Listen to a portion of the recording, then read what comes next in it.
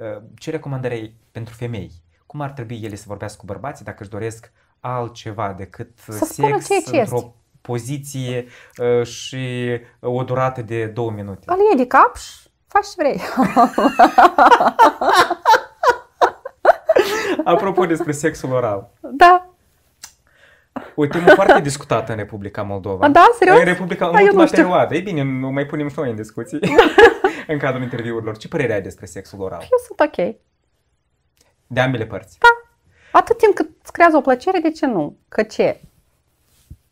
Păi îți aduc un argument. Unele Mm. femei spun că ele sunt foarte credincioase. și Ai, asta este lasă-mă, te rog, cu biserică.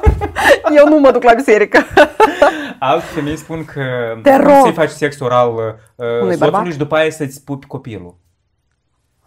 Da, copilul din nou ieșit. Ți-a răspuns la întrebare.